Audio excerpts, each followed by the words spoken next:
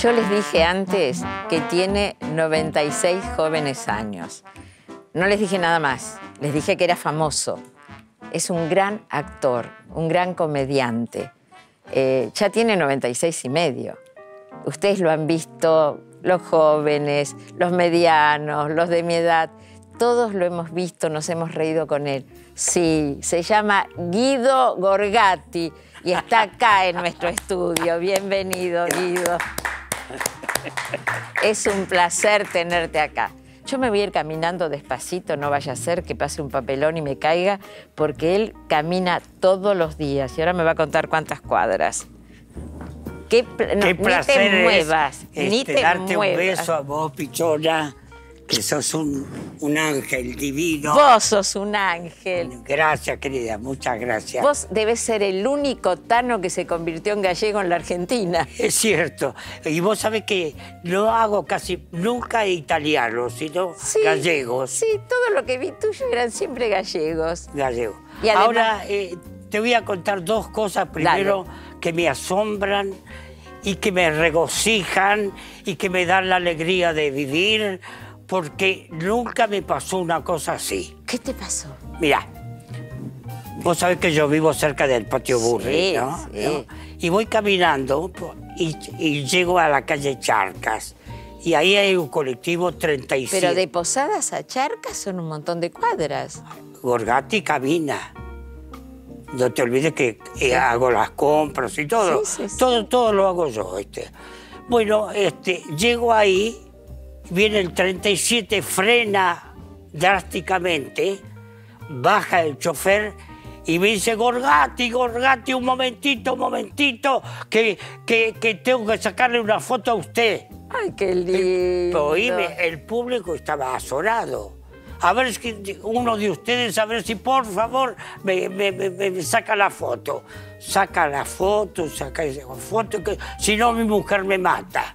Qué lindo. Oíme, ¿cómo es posible que después, hace 10 años que no trabajo yo? Lo último que hiciste lo hiciste en este canal. Sí, Un cortado. un cortado. Claro. Claro. Este, y después de eso creo que... Vos, vos sabés que este programa se llama Juventud Acumulada. mirá vos. Y yo creo que vos tenés juventud acumulada, porque toda la vida fuiste una persona de ir adelante. Llegaste acá escapando del hambre y de la guerra. ¿Qué Sí, tenías? indudablemente mi, mi papá era antifascista y, y lo quería matarlo. Pero te voy a contar la otra La otra anécdota que es interesantísima. Voy caminando otra, otra vez. Ah, de ahora, esta es de ahora. Ahora, ahora. Voy caminando por la calle y de repente este, para una ambulancia, una ambulancia, y el chofer me dice, Gorgati, lo adoro, lo quiero, lo quiero, lo quiero y le pido a Dios que nunca llegue yo a manejar y llevarlo a usted a algún lado. Bueno, ese es un muy buen deseo. Ahora, Uy, ahora te Vos das... sabés que me, me emociona Pero- al máximo todo eso. Yo te voy a decir algo, el que siembra, recoge. Y vos hace 80 años que estás sembrando risas y alegrías. Y, y yo quiero contarle a la gente algo que normalmente un chico de 10 años no hace. Vos estabas viviendo muy cerca del Teatro Labardén Sí, cuando tenías 10 años. Y en tu casa faltaba el dinero para la comida. efectivamente. ¿Qué hiciste? Y me, y me eh, anoté en el Teatro Infantil Labardén porque sabía que a la tarde daban un vaso de leche con un sándwich. ¿Y qué querías hacer ahí? ¿Qué dijiste? Porque para anotarte tenías que decir quiero ser actor, quiero ser... No, yo fui directamente porque eso queda en la calle Garay. Y yo vivía en Uspallata Qué 1735. memoria que tenés, Dios mío. Uspallata 1735, segundo piso, departamento B, ¿no? Este, y eh, entonces, este, voy a ahí, me atiende señora Rodríguez Nazo de Rosso, que era la directora, No puedo creer, no puedo creer. y me dice, ¿qué quiere? Io voglio essere at- attore cómico, No dijiste capo cómico, dijiste atore. attore cómico. Pero te convertiste en un capo cómico. Sí, oíme. Le, le- le asombró tanto a esta señora Celina Rodríguez Noso de... ¿Sabe quién es, no? Ce- Celina Rodríguez Noso de Rosso, el, el, el sobrino es este, el que hace el programa de... de eh, en- Programa de tele- en televisión. Radio 10, Ah, sí, sí, sí. en sí, Radio sí. 10. Decime, ¿tuviste de profesora Alfonsina Storni? Sí, en el- ahí en el teatro infantil. ¿Y era mal hablada? Muy mal hablada. Fíjate vos que inclusive de repente decía, chicos, este, vamos- vayamos a la plaza a, tra- a trabajar. No quería estar ahí, que estaba. Era libre, era una mujer eh, libre. Estaba entonces en la plaza y de repente dice, chicos, tengo ganas de decir una mala palabra. Dígala, señorita, mierda, mierda, mierda, mierda. No te Es- puedo creer. es increíble las cosas que... ¿Y les enseñaba a recitar también? ¿Poemas de ella o No, no? más que nada eh, com- eh, te- comedias. Negro, blanco, negro, y qué sé yo, que después se armaba toda una cosa así y los domingos se iba por las distintas plazas de la ciudad Con y la- se daba esa obra. Decime, y también hiciste avisos este, publicitarios, muchos en tu vida. Efectivamente, para Lowe. ¿Querés ver algo, algún aviso tuyo? Por si te lo olvidaste. Señor director, ¿podemos ver un aviso de Guido?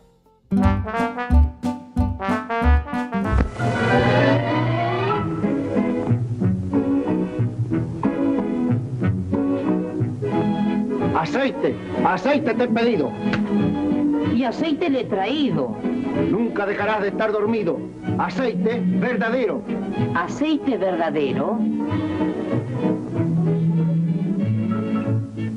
Aceite cocinero. Vos sabés que para hacer este aviso tenían que llamar al almacén de la esquina. Mi casa quedaba por lo menos seis, eh, media cuadra acá y dos pisos arriba para llamarme y avisarme que tenía distintos avisos. Imagínate cuánto agradecimiento a ese almacenero que durante tanto tiempo, además, fíjate vos, lo que dura la- este, el, el trayecto de allí hasta mi casa y de vuelta para decirme eso. Eso se hacía a las, eh, por ejemplo, tenía que estar a las 12 y salía a las 5 de la mañana. Fuiste, fuiste un montón de cosas en la radio. ¿Qué hacías? ¿Eras sonidista? ¿Eras compaginador? Sí, ¿En qué radios?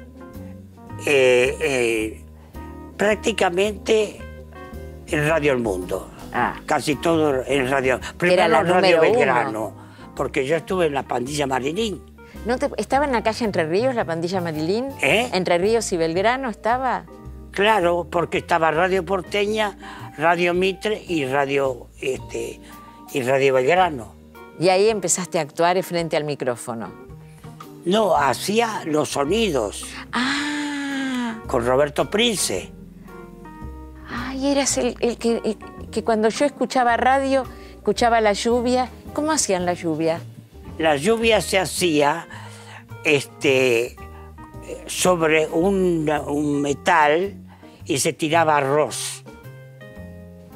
Entonces el arroz hacía ese crepitar pequeño, pequeño, pequeño, pequeño y cosas. Ahora te voy a contar Pero una... decime cómo se hacían los besos. Que yo cuando escuchaba los radioteatros decía, ay, se están besando. Con la mano lo hacía yo. ¿Cómo lo hacías? Un beso ficticio. Me ibas a decir algo, que me ibas Sí. a decir. Eh, íbamos a hacer los simuladores. Ajá. ¿no? Entonces, este, eh, vamos a una casa, eh, una casa de, de- de- de ancianos. Yo no me considero anciano, yo me considero viejo nomás. No, vos te considerás enjovecido. Bueno, Que me Eh, encantó esa palabra inventada por vos. bueno, entonces, este, eh, me dan el libro y que yo sé cuánto de los simuladores y qué sé yo. Y me dice eh, este cifrón, venga conmigo que eh, no me cayó nada bien. Cifrón. Damián es un encanto, yo lo Ya- ya, amo. Después, después. Ah, después sí. Ah, de- de entrada no. me no. cayó nada bien, porque estaba desafeitado, qué sé yo, qué sé cuánto. Es un Y, bohemio. Damián, te mandamos un beso. Genio total. Y Este, y entonces dice, bueno, a ver cómo es el asunto. Dice, bueno, resulta que eh, había un actor inglés de 85 años que le gustaban las chicas de 20, ¿no? eh, hay ingleses, hay argentinos, hay Sí. venezolanos, hay de todos los, de todos los países. Y entonces, Entonces que le gustaban las chicas de 20. Entonces el amigo, apurate porque me están diciendo que tengo una llamada por Skype. Dale, terminame de contar. entonces que espere la llamada, por le favor. pregunta a, a este, eh, el amigo, pero qué, ¿qué sensación tiene usted? Dice. Y dice, es como jugar al billar con una soga. y me reí. Y dice, ¿de qué se ríe? Porque es gracioso. Usted no se tiene que reír. El que tiene que reírse es... Y ahí casi, casi nos vamos a las manos Con Damián. con Damián. Después fuimos grandes amigos, lo adoro, lo quiero, lo llamé hace poco por teléfono. Va a ir, va a, ir a filmar de- a Hollywood. después, te, después te sigo Dale. contando. Eh, chicos, no entiendo. ¿Qué quiere decir Skype? ¿Nosotros tenemos Skype? ¿Somos tan modernos? ¿Y quién me puede estar llamando por Skype? Hola, hola, Hola. hola. Eh, esa ¿quién- voz, esa voz la... es? Soy Fanny Mandelbaum, pero esa voz la conozco. Vos sos... Hola, Fanny. ¿Cómo, te estás, querida? va? Mi primer jefe en este canal. ¿Cómo estás, Armando Barbeito? Me Genial, vos empezaste conmigo cuando eras chiquita. Cuando era muy chiquitita, cuando tenía pocas juventudes No, acumuladas. Contame. No, muy. Sí, No, decime. quiero que me cuentes, estoy acá con un gran amigo tuyo y me, me encantaba saber qué pensás de él sin que él se entere. ¿Qué pienso de Guido? Sí. Que somos amigos hace más o menos 70 años. Ja. Comenzamos juntos en Radio El Mundo. Yo tenía 16, 17, ahora voy a cumplir 93. Ah. Él es mayor que yo. Y somos amigos de la radio. ¿Qué más? No, nada. eh, alguien me contó que es muy buen cocinero. Yo no le creo porque nunca me invitó a comer. Pero dicen que en este canal, en 20 mujeres, él hacía eh, paladar negro. ¿Puede ser? Puede ser, Puede puede, ser. ser. sí. Sí, Ahora te cuento después yo- cómo se inició esa, esa nueva visión mía de, de- de trabajar de cocinero. Espera que yo quiero que Armando me cuente alguna anécdota tuya. Bueno, ¿Alguna cosa que él no me haya contado? Contámela vos. Vos sabés que yo te, hacía 20 mujeres como productor general del programa. Y un día ven- y venía Marrone, el gran actor, a cocinar al programa. Y una hora antes, una hora antes, me avisa que de ninguna manera puede venir porque se sentía totalmente descompuesto. Y además él vivía por entonces yo- Martínez. Él vivía ¿Cómo? lejos, él vivía lejos, vivía por Martínez, me parece. Sí, pobre. Y entonces, bueno, no importa. Yo de alguna manera lo voy a arreglar. Y estaba Guido conmigo. Digo, Guido, ¿te animás a cocinar en 20 mujeres para salvarme el momento? Porque tenía que estar la parte cocina. Y Guido dijo, no, ¿te parece? Yo sí. Y entonces Guido hizo un plato famoso que se llamó este, falso matambre. Falso matambre. Falso, Falso matambre. matambre. Sí, que era, en vez de ser de carne, era de pasta, pero maravilloso. Y todo el mundo durante mucho, mucho tiempo a Guido le llamaba falso matambre. Ajá, esa no la tenía. Gracias por comunicarte con nosotros. Armando, vos también sos alguien que tiene juventudes acumuladas. Te mando un beso y te agradezco que me hayas puesto en el programa de Guido Gorgati, mi amigo. Es Muchas un- gracias. Es un placer. Armando Barbeito ha sido durante casi toda su vida productor de este canal. Son amigos, como bien lo dijo él, hace 70 años. Y es un placer que se haya comunicado con nosotros para hablarnos de vos. y vos sabés por qué me tomaron a... Después me tomaron Así Me fijo. fui. Y, Después de, de eso, me tomaron.